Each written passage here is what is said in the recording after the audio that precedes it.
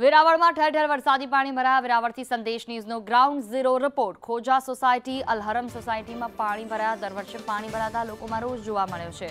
સ્થાનિકોએ તંત્ર પર આક્રોશ વ્યક્ત કર્યો છે. વેરાવળથી સંદેશ ન્યૂઝનો ગ્રાઉન્ડ ઝીરો રિપોર્ટ. ઠેર ઠેર વરસાદી પાણી ભરાયા. ખોજા સોસાયટી, અલહરમ સોસાયટીમાં પાણી ભરાયા છે.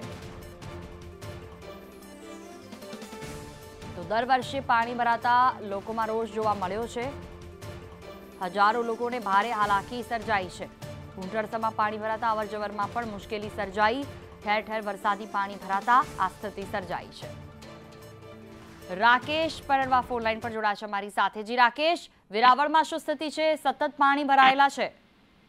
ગઈકાલથી જ અનરાધાર વરસાદ વરસી રહ્યો છે. આજે સવારે છ વાગ્યા સુધીમાં આઠ ઇંચ જેટલો વરસાદ વરસી ચૂક્યો હતો અને ત્યારબાદ વધુ દોઢ ઇંચ જેટલો વરસાદ વરસી ચૂક્યો છે. રાત્રિના જ જે વરસાદી પાણી છે, આ સોસાયટી વિસ્તારોમાં ઘૂસવાની શરૂઆત થઈ ચૂકી હતી.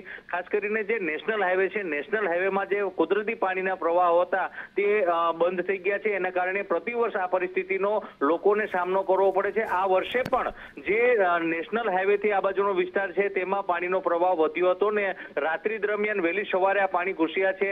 જે અલહરમ અને ખોજા સોસાયટી સહિતની જે સોસાયટીઓ છે, તેમાં ગોઠણરૂપ પાણી ભરાઈ ચૂક્યા છે. આ ઉપરાંત જે જલારામ નગર વિસ્તાર કહેવાય છે, આ જલારામ નગર વિસ્તારમાં પચીસ જેટલા ઘરોમાં ઘરોમાં પાણી ઘૂસી ચૂક્યા છે એટલે લોકો ભારે હાલાકીનો સામનો કરી રહ્યા છે.